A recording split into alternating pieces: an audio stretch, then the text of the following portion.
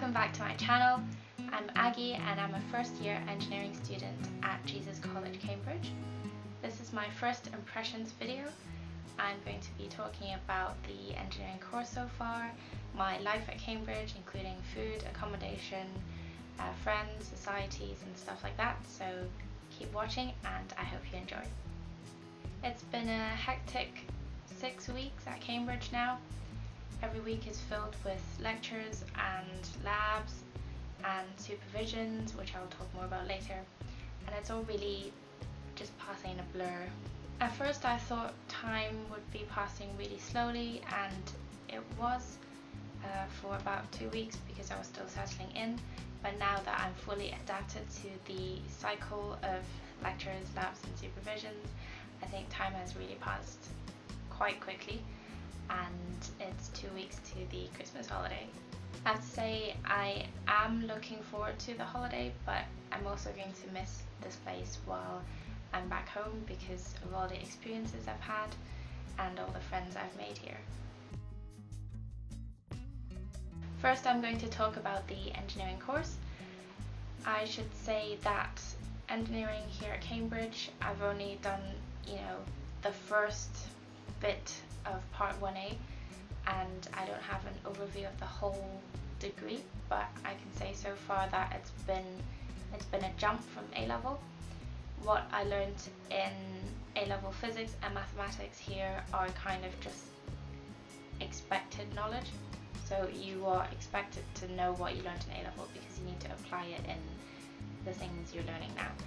So um, in part 1A we will do four exam papers. We have mechanics, we have structures and materials, we have electronics and circuits, and then the fourth paper is mathematics and computing. Now for me, I have never programmed before. Uh, the only kind of remotely related to programming thing I did was uh, Lego Mindstorms and that didn't use any programming languages. Now we're learning Python and it is quite, um, there's, there's a learning curve uh, associated with programming and you just have to get over it and once you understand it you're like, yes, but it does take, it does take time. For mathematics I think um, because I did further math, for this term I'm finding the stuff relatively okay.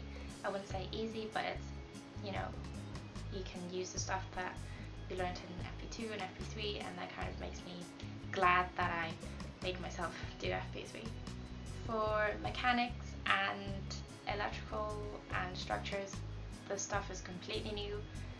It's completely new topics. Uh, we're talking about uh, different coordinate systems in mechanics and forces and like bending moments and I'd never learned that before in A level so it's all quite interesting, but it takes some getting used to.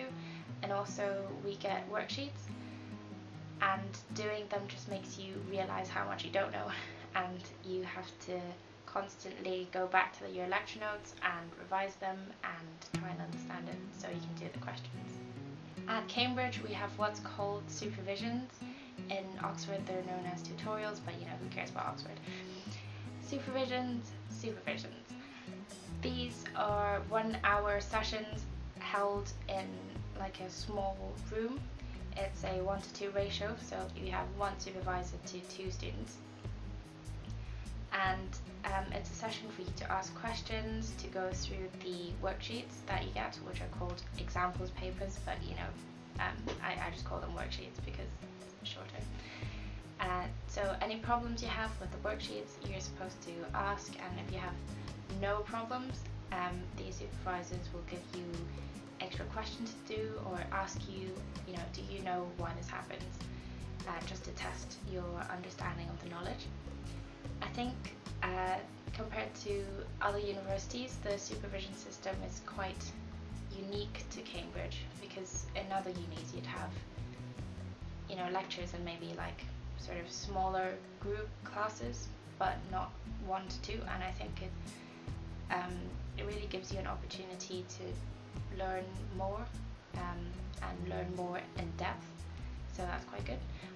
In terms of my schedule I'd say I have around 10 lectures a week and two lab sessions and maybe three supervisions on average. Um, just an average figure because it changes from week to week and sometimes you have two lab sessions in one day which is really intense. We have these drawing labs and because I took AS Art I was kind of expecting it to be well easier for me but it has it has nothing to do with sketching or thing it's just so far we've been doing projections and it's really confusing and even for me I'm a highly visual person it just doesn't work out on paper. So that that is one thing I'm trying to and that is one thing I'm struggling with. But I mean everyone's in the same boat. All the engineers are doing the exact same thing. So it's good because I have other people who don't know what they're doing as well. It's good. In terms of things other than academic life I really enjoyed the Societies Fair where I got free pizza and just signed up to basically everything I kind of settled down into three societies. I kind of have to limit myself because I don't have time to do so many interesting things. I'm in the Cambridge University Wind Orchestra and I play percussion and it's quite fun. And then I have Jesus Singers, which is a kind of a cappella choir group thing in college, which is good because I don't have to cycle all the way to rehearsals. I'm also in the Green Society, that's a new society in college and we just aim to promote awareness about environmentally friendly issues and stuff like that. Yeah, so it's all really fun and it just gives you a kind of um, break from all the hard academic stuff.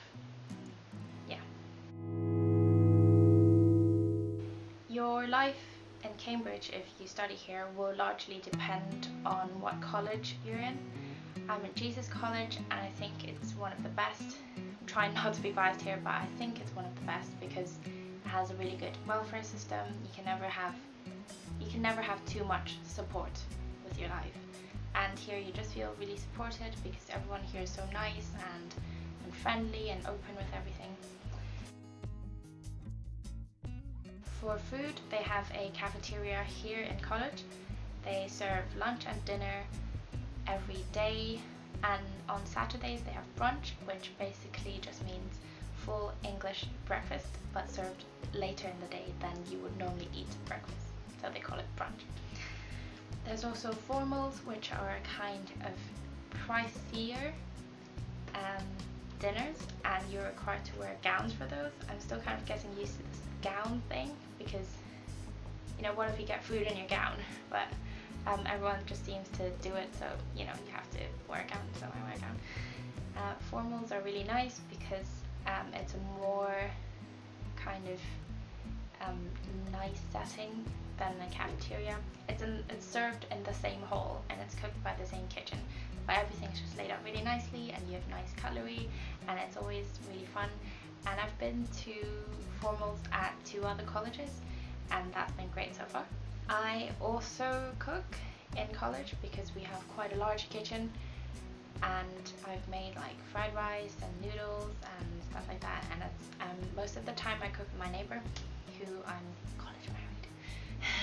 Uh, college married to and yeah Jesus is quite convenient for that because we have all the facilities you could want to cook whatever the only thing we don't have is an oven but then I don't really bake so you know not a big deal Accommodation. Accommodation is also dictated by which college you live in because they will essentially rent you the room you're living in. My room is really nice, it's really big, it has a balcony and it's ensuite and laundry in Jesus College is absolutely free.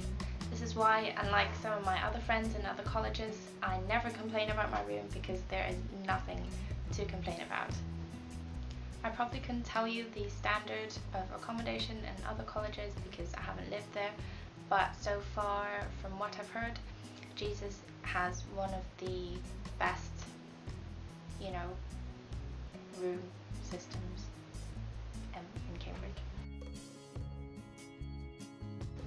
Shopping. This is always a really touchy subject with me because while I'm really glad with the selection of shops here, the shops close really early, like 6 p.m. Like, come on guys, just don't close so early. I don't know why they close so early. Because back home they, you know, in shopping malls they would open till 10, 11. Supermarkets would open till 11, definitely.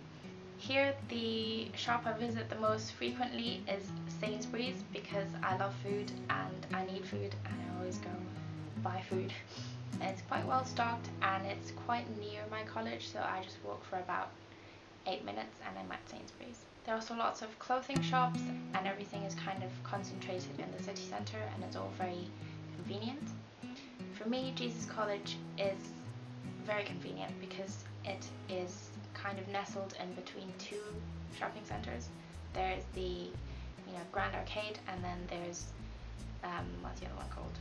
The Grafton. Yes, it's near the Grafton and the Grand Arcade. So some of the shops you can't find there, you can go to the other one, and some of the restaurants you can't find there, you can go to the other one. So it's all very convenient, and they're all just kind of eight ten minutes walk away. I got myself a bicycle because everyone cycles in Cambridge. Really, you can't live without a bicycle here, I think. I cycled to the Department of Engineering every morning for lectures and I cycle back in the afternoon. Sometimes I have to cycle at night and that is kind of scary because Cambridge is not known for its night light infrastructure. Yeah, it's quite dark at night. But um, I always make sure there are other people on the road. So when I cycle and if I like trip and fall, I'm not going to run into serious trouble because there'll be some other person to help. In terms of social life, I think it all really social life it just depends on what kind of friends you have. I've met really nice people in my staircase. We call we call our apartment blocks staircases. Yeah, people here are just so nice and they're really willing to help and whenever one person runs out of milk, another person will be like, yeah, you can use some of mine. And we all just kind of respect each other's boundaries and help each other out. So very, very nice people in Jesus College. I also have friends in engineering who are not in Jesus College and we say hi in lectures and labs and we help each other out with drawing because nobody has no idea what's going on in drawing. So it's all very good. Everyone's really nice. I think there's really no, none of those, you know, stereotypical Oxbridge people. N nobody's snobby here. I don't know where the stereotype came from because I was expecting, not a lot, but I was expecting a few, but I have not met any yet uh, so far. And you know, even if you meet people like that, it's not like statistically more than that you would meet outside of Cambridge. So I think it's all very nice and this place is really worth considering if you are applying for uni and you have good grades because the welfare system's good, the food's good, the accommodation is good if you are in Jesus. The support's good, teaching's good, friends are nice, people are nice, convenient everywhere, just apply to Cambridge. That was a quick summary of my time spent here in Cambridge so far. It's only been six weeks and who knows, maybe next week I'll decide I hate this place because the people are horrible and the teaching is really bad and I hate the food. But I think I'm going to enjoy my four years here. I look forward to making many more videos about my daily life in Cambridge. Please subscribe to my channel and I'll see you in my next video. Bye!